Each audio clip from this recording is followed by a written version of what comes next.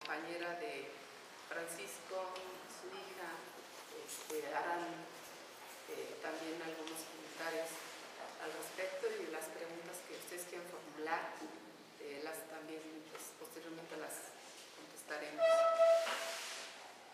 Entonces, eh, después también podemos repartirles el boletín si, si quieren.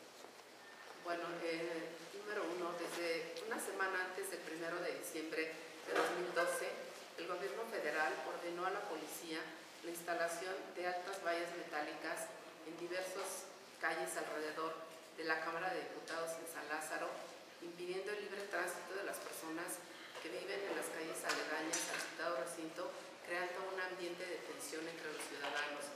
Ante la toma de posesión de Enrique Peña Nieto como presidente constitucional, se desarrollaron varias protestas ciudadanas, por lo cual los elementos de la Policía Federal utilizaron balas de goma, gas lacrimógeno y agua a presión para disolver las manifestaciones de protesta, lesionando a un número indeterminado de personas que protestaban pacíficamente o que caminaban por las calles donde se encontraban instaladas las vallas metálicas. Número 3. Juan Francisco Cuiquenda Leal, el primero de diciembre de 2012, aproximadamente a las 9.20 de la mañana, iba caminando sobre la avenida Eduardo Molina, pues se dirigía al lugar donde se realizaba una manifestación pacífica en contra de la toma de posesión de Enrique Peña Nieto. Esa manifestación se estaba realizando a unos 500 metros de distancia de, de donde él en ese momento se encontraba caminando. Al ir hacia dicho lugar, de pronto a la altura de la estatua de Ramos Arispe, los policías federales que se encontraban atrás de las vallas metálicas empezaron a disparar gases lacrimógenos y balas de goma a los transeúntes que se dirigían hacia la manifestación, entre los cuales iba Juan Francisco Cuiquendal con otro compañero. Los disparos hechos por la policía le causaron una grave lesión en la cabeza, quedando tendido en el suelo, inconsciente y ensangrentado, con parte de la masa encefálica expuesta por el impacto de la bala. Desde hace 104 días en que ocurrieron los hechos y en que tomó posesión Enrique Peña Nieto de la Presidencia de la República, Juan Francisco ha estado en la Cruz Roja, en el Hospital Siglo XXI, en el Hospital Magdalena de las Salinas y en otras clínicas eh, del Seguro Social, sometido a cirugías de cráneo y a diversos tratamientos por su grave estado de salud. Sin embargo, hasta el momento sigue inconsciente y su estado de salud sigue siendo grave, con secuelas neurológicas, con tubos para comer en condiciones muy complicadas porque no puede desarrollar por sí solo ninguna de sus funciones físicas ni las más básicas. No obstante esta situación, la doctora Maura Loyola García del Hospital General Siglo XXI insistió y presionó a Eva Palma, la compañera de Juan Francisco, para que se lo llevara a su casa sin que ella cuente con los medios necesarios y adecuados para su atención médica. Tenemos conocimiento, por otro lado, que se ha prohibido en la Unión Europea y en otros países la utilización de las balas de goma para dispersar manifestaciones, toda vez que dichos artefactos son armas mortales, de acuerdo a investigaciones que se han realizado, cuando impactan en la parte superior del cuerpo, como en el caso de nuestro compañero Juan Francisco.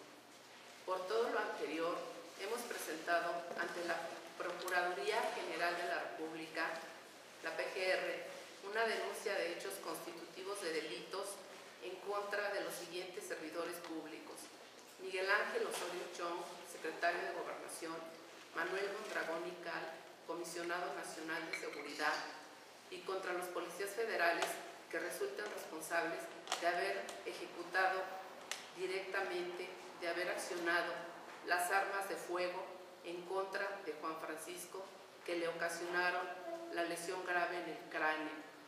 Se, ha solicitado al Ministerio Público Federal que se realicen todas las diligencias necesarias para la investigación e integración de la averiguación previa correspondiente para que los servidores públicos mencionados sean consignados ante el juez penal federal y que sean castigados por los delitos de abuso de autoridad, de homicidio calificado en grado de tentativa, de del servicio público y de lesiones dolosas, tanto a los que ordenaron el operativo como a los policías que llevaron a cabo y que ejecutaron esa orden.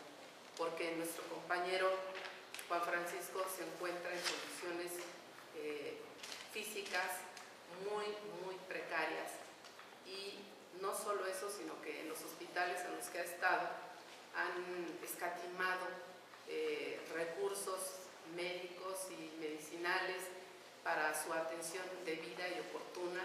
Y no solo eso, sino que mandaron a su casa a Juan Francisco, eh, a la casa este, que comparte, compartía con Eva, su compañera, y eh, pues volvió a, de hecho no se ha recuperado, eh, se agravó, lo regresaron al hospital y ahorita sigue otra vez internado, pero ha llegado al, al absurdo de que las, los médicos del hospital le han pedido a ella en días anteriores que compre Yakult porque su flora intestinal está muy dañada por los medicamentos que se le han administrado y entonces a ella le que lleve Yakult para que se lo puedan este, eh, dar por, los tubos este, a los que tiene para comer. Entonces nos parece realmente absurdo que en el hospital no, tengan este, pues, eh, los materiales y los medicamentos adecuados para su atención eh, óptima siendo que pues fue su estado actual fue consecuencia directa de una orden del gobierno federal y que se debe hacer responsable hasta, sus, eh, hasta su total recuperación de la atención médica, hospitalaria, eh, quirúrgica y de todo tipo que él necesite y rehabilitación. bueno, eso este, por el lado de la, de la acción jurídica, ya se presentó esta denuncia de la PGR y este, pues las compañeras, este, su hija y su compañera eh, de vida harán este, uso de la palabra para ah, ampliar los detalles acerca de su, de su estancia en el hospital. Yo soy Bárbara Zamora y soy este, la abogada de la compañera de Francisco Puquenda de Pala. Bueno, sí, este... ¿Puede ir lugar? Sí, para... Ah, exacto. Gracias. Gracias. Bueno, sí.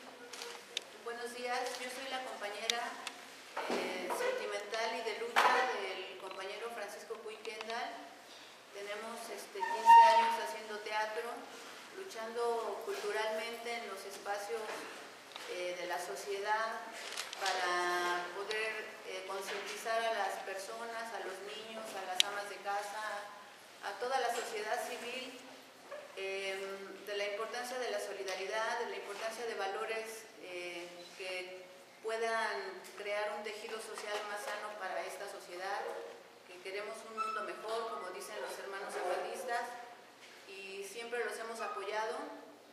Esta tal vez es una de las razones por las que el gobierno federal eh, disparó contra mi esposo, puesto que, pues haciendo una violación de su derecho constitucional, que es la libre manifestación pacífica, porque él iba pacíficamente, pues le agredieron de esta manera, con un traumatismo cranoencefálico, con exposición de masa cerebral, ya la abogada dio detalles de las condiciones en las que se encuentra mi esposo. Ha pasado por varios hospitales. El día 8 eh, de marzo, que fue el viernes pasado, la doctora eh, Maura Noyola, de Medicina Interna, insistió en que ya era momento en que él no estuviera en el hospital porque ya había terminado como la etapa de hospitalización, ya podía estar en casa. Lo tuvimos en casa viernes, eh, lo que va del viernes, sábado y el domingo. Eh, vomitó toda la noche un líquido oscuro este, de gravedad, estaba muy deshidratado, lo tratamos de transportar a siglo XXI, mi hermana llamó a urgencias del siglo XXI y le dijeron que no le podían mandar ambulancia, que hablara al ERUM o a la Cruz Roja para que le llevaran la ambulancia. Tal fue así que mi hermana habló al ERUM y fue Lerum el que, el que llevó a mi esposo a, a la clínica 10, que es la que le corresponde, y de ahí lo trasladaron a Venados, que es donde actualmente se encuentra. Le encontraron un alto cuadro de deshidratación, una infección de vías urinarias y este, pues tiene ahorita mucha diarrea, eh, no sabemos por qué no tolera el alimento, algunos doctores dicen que porque es falta de movilidad, pero en el siglo XXI me habían dicho que tenía una bacteria que era lo que le generaba la diarrea. Yo le pregunté a los doctores de venados y me dijeron que en sus estudios no sale dicha bacteria, que van a analizar por qué motivo es la diarrea. Ahorita pues eh, lo que sé es que está un poquito más hidratado, pero pues yo les dije que no lo voy a recibir hasta que esté estable, no lo podemos recibir con diarrea y si es necesario que lo vuelvan a cambiar a siglo XXI, pues que lo cambien porque de ahí es de donde lo sacaron, es una petición que le hacemos. Y pues por otro lado, también estamos pidiendo que el gobierno federal se responsabilice de sus actos y necesitamos que nos otorguen una enfermera o varias porque hasta las enfermeras trabajan por turnos, ¿no? Em, yo amo a mi esposo, pero pues también tengo que trabajar y pues no creo poder hacerla de enfermera los 365 días del año a todas, a todas horas, ¿verdad? Entonces solicitamos que nos mande una enfermera que él se haga cargo de sus gastos médicos. Hay, este, una, hay un aparatito para sacar las flemas, en el Seguro Social no me, di- no me lo dieron, me dijeron que con una perilla de niño se le podía sacar, cosa que es falsa. Ayer me dijo la enfermera de Venados que necesita su aspiración profesional médica y este, mi hermana preguntó por los aparatitos, cuesta más o menos 3 mil son gastos que pues la verdad el gobierno se tiene que hacer cargo de sus gastos médicos, este, si nos lo van a mandar a casa y además estamos nosotros aceptando tal vez eso no porque él esté bien, porque él sigue delicado y necesita muchos cuidados, sino porque nos han dicho que los hospitales siguen, este, ellos son propensos a adquirir otras, otros, otras infecciones. Eh, mi esposo ahorita le hicieron un estudio de pulmón, afortunadamente no tiene este, neumonía y dicen que si se queda mucho en los hospitales la podría adquirir. Tal vez sea cierto o no, por eso eh, nosotros lo trasladamos a casa, pero no porque él esté bien, él todavía está delicado y necesitamos que, que el gobierno se haga cargo, y tanto como el IMSS, de todos sus cuidados médicos. Eh, bueno, eso es este, por mi parte. Igual al rato les puedo dar una lista de cosas que necesitamos de apoyo, de apoyo de la sociedad civil para, pues sí, para, para, para tener en casa pañales y todo este tipo, no sé si ponían, o- sí, bueno, es una lista que yo hice. Necesitamos pañales de sábana rectangulares, pañales de calzón para adulto mediano, porque también la suegra se quedó con nosotros, está inválida, tiene 83 años y pues también nos tenemos que responsabilizar de ella. Pañales de calzón de adulto mediano, agua destilada, cereal de arroz, Gerber o Nestum, cereal de avena, aceite de maíz, maicena natural de, caja amarilla, bolsas para gastroclisis, Enterovac, marca Enterovac, que las venden en la farmacia París, miel de maíz caro, transparente, eso es como de la cuestión alimentaria, pero pues ya este pues te- ¿mande? toallitas húmedas, ya les iríamos diciendo poco a poco algunas otras este, algunos otros este, productos que necesitamos para la alimentación y el cuidado de Weekenda. Y este, bueno, creo que por mi parte, como les vuelvo a repetir, demandar que nos manden enfermeras porque pues yo tengo que trabajar, no sé cómo voy a mantener a mi esposo, con él hacíamos teatro y, y pues sí requerimos que el gobierno se haga cargo de lo que hizo. Muchas gracias. ¿Vale?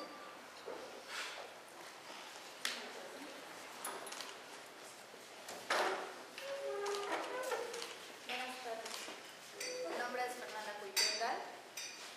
Y bueno, eh, creo que en general se ha dicho todo. Solamente quiero hacer un llamado a las organizaciones, a la sociedad civil, a los defensores de la justicia, a los representantes populares, a la prensa, a los amigos y compañeros, para buscar la justicia, el castigo a los responsables y la reparación de daños eh, dar transparencia y salir de esta situación lo más dignamente posible.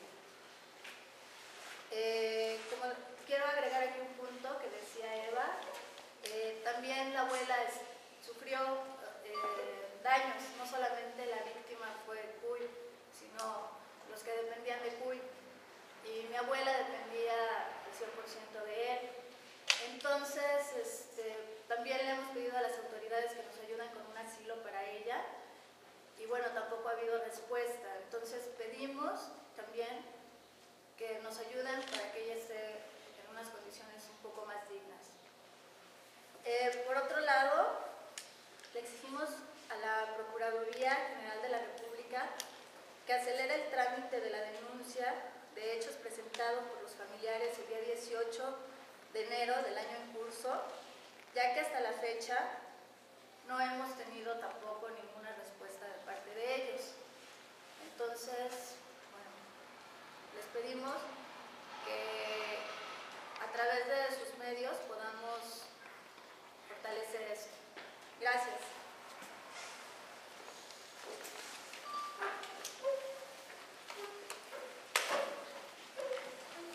Este, quisiera aclarar que hay presentadas dos denuncias, una como la mencionó este, la compañera y la otra que hemos presentado el día de ayer ya con este, eh, responsabilizando a servidores públicos con nombre y apellido y por delitos específicos que ya mencioné. Entonces esperamos que pues, integren, hagan las investigaciones e integren las este, averiguaciones previas correspondientes eh, de acuerdo al ofrecimiento que ha hecho el Procurador General de la República de que eh, no va a haber impunidad de nada.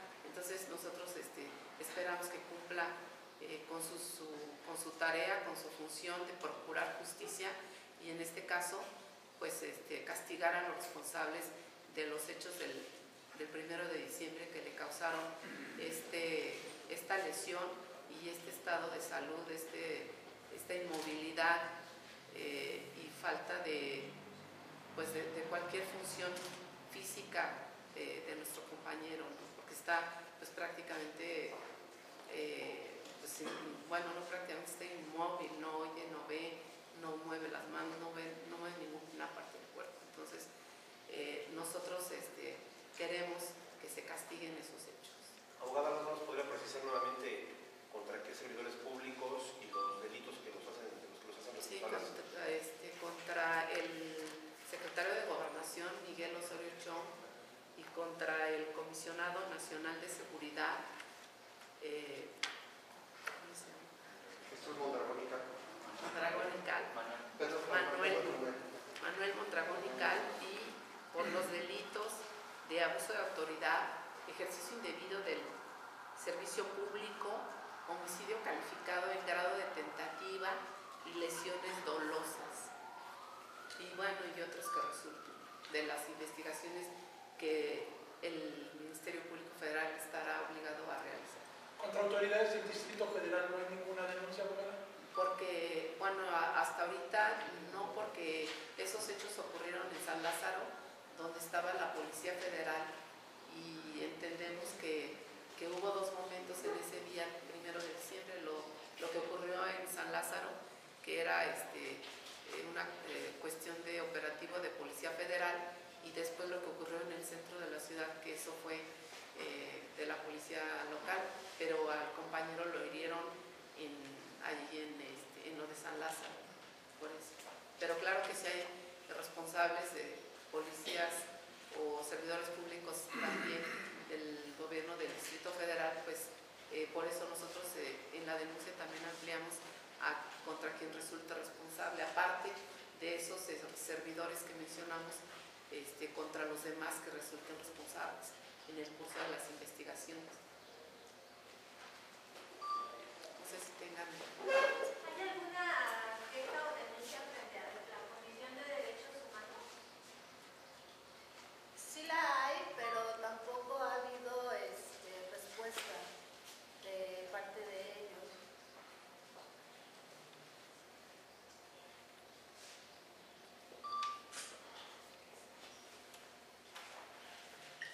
¿Algún apoyo de medios internacionales? No, ahorita, pues, este, eh, esta es la primera conferencia que hacemos. Entonces, eh, Bueno, perdón, abogada. Este, los primeros días en la Cruz Roja, este, sí se hicieron algunos medios presentes, como Telesur, eh, y algunos otros de, de cable, pero no, nada más. Sí, en realidad es, es, este, digamos que una falta de interés de los medios y, y bueno, y ya como dice el gobierno, pues ya no han hablado de esos hechos ni, ni de las consecuencias que hubo eh, a raíz de, de, esa, de esos actos de represión que se llevaron a cabo y tal parece que después de los 100 días de gobierno lo único que, que pues de lo que hablan los medios es pues de los logros, del Pacto por México, de la reforma energética, de eso que el gobierno todos los días está eh, informando, comunicando y, y- y de todo lo demás pues ya no se ha hablado. Por eso nosotros estamos eh, nuevamente recordando que hay un problema, que hubo una- actos de represión que no se han castigado, que no se han investigado y que nosotros estamos exigiendo que se haga. ¿Hay algún, algún pronóstico de los médicos a propósito de la salud de? Pues eh, hay, un- hay, hay una parte de un informe médico donde dice pronóstico y, y dice este, malo para la vida, eh, pero realmente no, no, no, digamos que será una clave médica o no entendemos este, los alcances de, esa, de ese pronóstico, ¿no? malo para la vida. El hecho de que esta doctora haya, haya ordenado que, que se le diera de alta y que se fuera a su casa, ¿ustedes cómo lo interpretan? ¿Como un caso de negligencia o cómo lo, pueden Sí, por supuesto, un caso de negligencia médica y, este, de responsabilidad civil eh, por mala praxis médica, porque es incongruente que en el, en el mismo documento que le dieron a Eva, donde dice que se da de alta por mejoría, así nada más dice mejoría, pero en otra parte del mismo documento dice pronóstico este, malo para la, para la vida.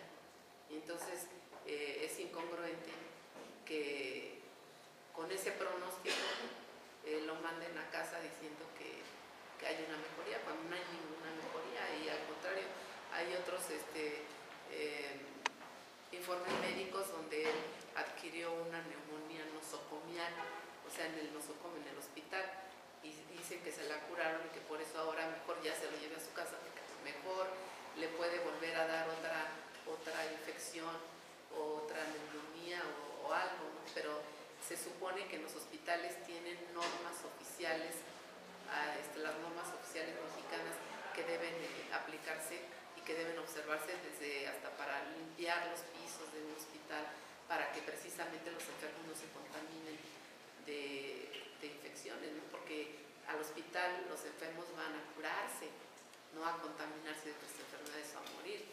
Entonces, eh, con, esa, con ese pretexto, ellos, eh, los médicos del siglo XXI, este, pues, lo, pues prácticamente lo echaron del hospital para que eh, Eva se hiciera cargo y se responsabilice de una situación que no le corresponde, porque eso tiene que ser asumido por los hospitales este, pues, del, del gobierno federal, porque es su responsabilidad. ¿Es Mayra Mayola, la doctora? Maura, Maura. Maura, No yo la- del, este médico de, este, de medicina interna del siglo XXI, ¿Actualmente dónde se encuentra? en el Hospital de los Venados. Es una clínica familiar que donde pues, no hay las especialidades ni nada. Por eso este, pues se está también pidiendo que lo trasladen otra vez al siglo XXI o al hospital donde haya los especialistas este, necesarios para su atención médica adecuada.